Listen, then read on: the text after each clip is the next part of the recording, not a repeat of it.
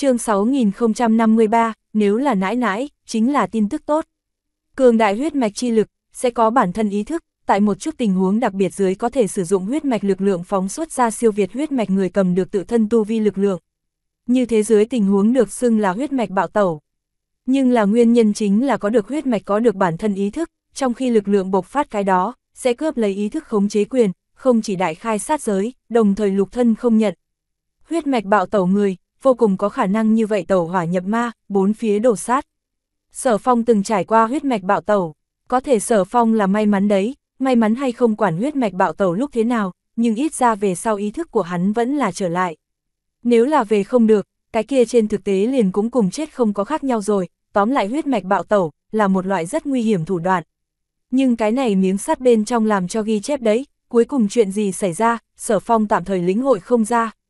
Có thể tại sở phong xem ra, vô luận là hay không nguy hiểm, như thật có thể đủ nắm giữ huyết mạch bạo tẩu, tuyệt đối là một chuyện tốt. Trung quy huyết mạch bạo tẩu làm cho phóng xuất ra lực lượng, là vượt xa tự thân tu vi. Đã đến tuyệt cảnh thời điểm, nếu có thể thi triển bực này thủ đoạn, cái kia tối thiểu nhất không đến mức chờ chết. Chỉ là sở phong lĩnh hội không đủ thời gian, bởi vì cũng không tiêu phí quá lâu, bọn hắn liền đã tới, bọn hắn muốn đến địa phương. Sao sao, làm sao lại đi ra? Từ kết giới đường hầm bên trong đi ra, Vương Cường mới đầu còn có chút mờ mịt. Thế nhưng Vương Cường, chứng kiến truyền tống trận ghi chép vị trí, lập tức trợn mắt há hốc mồm nhìn về phía sở phong. Cái này cái này cái này, cái này đã đến, Vương Cường trừng trong mắt, cười tô tuét miệng rộng, vô cùng khiếp sợ. Bởi vì bọn họ đã thân ở đồ đằng thiên hà, đúng là đan đạo tiên tông chỗ thế giới. Đúng, không phải đã nói, thông qua nơi đây truyền tống, tốc độ rất nhanh sao. Sở phong nói, kia kia, cái kia đây cũng quá nhanh, giống như từ cái chỗ kia tiến tiến đi vào, chỉ chỉ. Chỉ có hơn một canh giờ a Vương Cường nói, Vương Cường không phải không kiến thức người, nhưng lúc này vẫn là cảm giác khó có thể tin. Vượt qua thiên hà, hơn một canh giờ, đây quả thực vượt quá tưởng tượng, huống chi bọn hắn phía trước thế nhưng tại thất giới thiên hà. Mà thất giới thiên hà khoảng cách đồ đằng thiên hà khoảng cách, thế nhưng không gần đấy. Như thế nào, lợi hại không? Sở phong cười híp mắt nói, quá quá, quá lợi hại, quả thực vô pháp vô thiên rồi. Huynh huynh huynh đệ, ngươi là là là là làm sao làm được, có thể hay không cũng cũng cũng giáo giáo ta. Ta ta, ta nếu có thể nắm giữ nơi đây, coi như là mỗi cái thiên hà bên trong đều đều đều có nhất cô vợ nhỏ, cũng có thể trong vòng một ngày toàn bộ toàn bộ tất cả thấy một lần a. Vương Cường thu hồi khiếp sợ tâm tình, thay vào đó chính là hèn mọn dáng tươi cười, dường như đã thấy được tương lai cuộc sống tốt đẹp bình thường.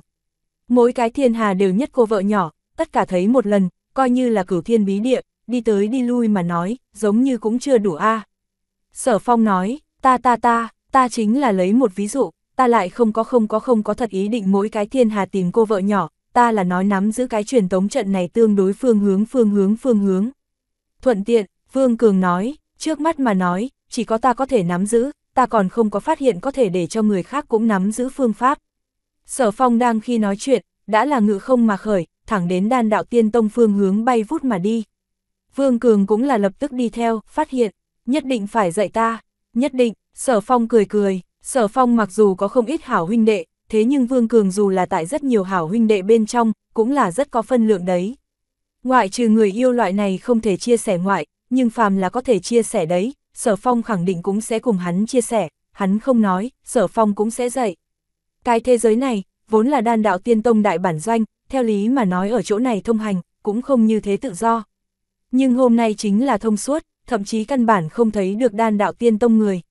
Ngược lại là đụng phải không ít không phải đan đạo tiên tông người, bọn hắn cũng đều là đến xem náo nhiệt đấy. Mà lại từ bọn họ ngôn luận cũng là xác định, đan đạo tiên tông đúng là đã tao ngộ diệt tông tai ương. Cũng không lâu lắm, một cái biển lửa liền đập vào mi mắt. Cự ly xa đến xem, đó là chân chính biển lửa, che phủ diện tích quá lớn. Mà tới gần sau đó, càng là có thể cảm nhận được hỏa hải khủng bố, toàn bộ đan đạo tiên tông đều bị biển lửa bao trùm. Chớ nói người, rất nhiều gia trì kết giới kiến trúc, đều đã bị thiêu thành cho tàn.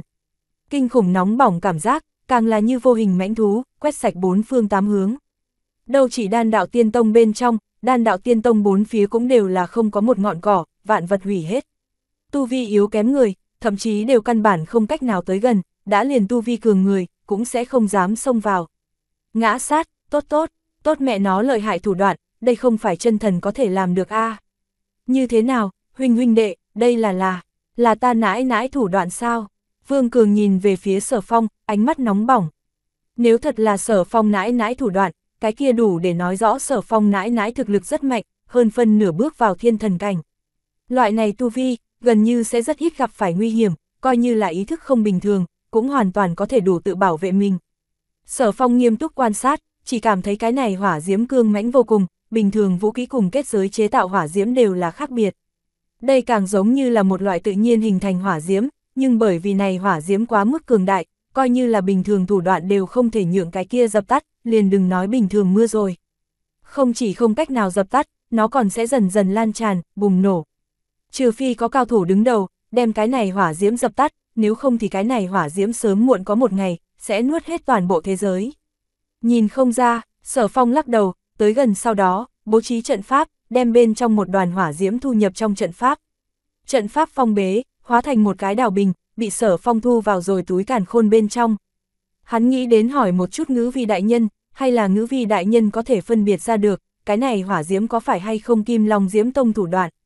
Kỳ thật sở phong cũng rất hy vọng, đây là hắn nãi nãi làm ra. Nếu thật là bà nội hắn làm ra, không chỉ chứng minh bà nội hắn có năng lực tự vệ, cũng nói bà nội hắn là tồn tại nhất định ý thức đấy, bằng không thì tại sao lại tiêu diệt đan đạo tiên tông. Chỉ cần là bà nội hắn, cái này liền tuyệt đối là một cái tin tức tốt. Cứ việc cái này hỏa diễm rất là nguy hiểm, nhưng đặc biệt đến người xem náo nhiệt vẫn là không ít. Hơn nữa có ít người, rất sớm đã tới rồi. Những người này tồn tại, ngược lại vì sở phong tìm hiểu tin tức cung cấp không ít trợ giúp. Trải qua tìm hiểu biết được, bây giờ đan đạo tiên tông, ngoại trừ đương thời ra ngoài người tránh thoát một kiếp, gần như tất cả người ở đây chết rồi.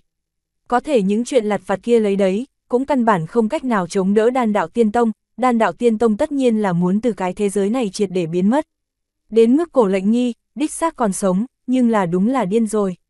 Nguyên bản đan đạo tiên tông may mắn còn sống sót người, là muốn đem cổ lệnh nhi mang đến đồ đằng long tộc, tìm đồ đằng long tộc thủ tịch khách khanh đại trưởng lão, quá sử tinh chúng giúp đỡ chữa thương. Có ai nghĩ được, nhưng có đồ đằng long tộc cao thủ giết tới, đem những cái kia đan đạo tiên tông người toàn bộ bắt đi. Bây giờ đồ đằng long tộc, chia làm hai phái. Nhất phái là trưởng quản bây giờ đồ đằng thiên hà, nhưng trên thực tế chính là phản đồ long lân đám.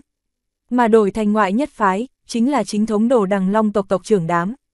Rất hiển nhiên, sẽ đối với đàn đạo tiên tông động thủ đấy, tất yếu chính là chính thống đồ đằng long tộc.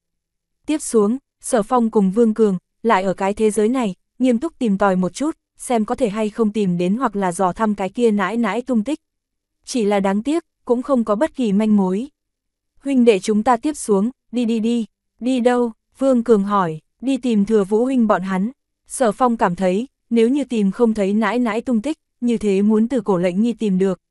Nếu như cổ lệnh nhi thật là bị, chính thống đồ đằng long tộc bắt đi. Như thế liền chỉ có đi tìm đồ đằng long tộc tộc trưởng bọn họ. Mà sở phong là biết rõ, đồ đằng long tộc tộc trưởng bọn hắn, hiện tại chỗ sống ở chi địa đấy.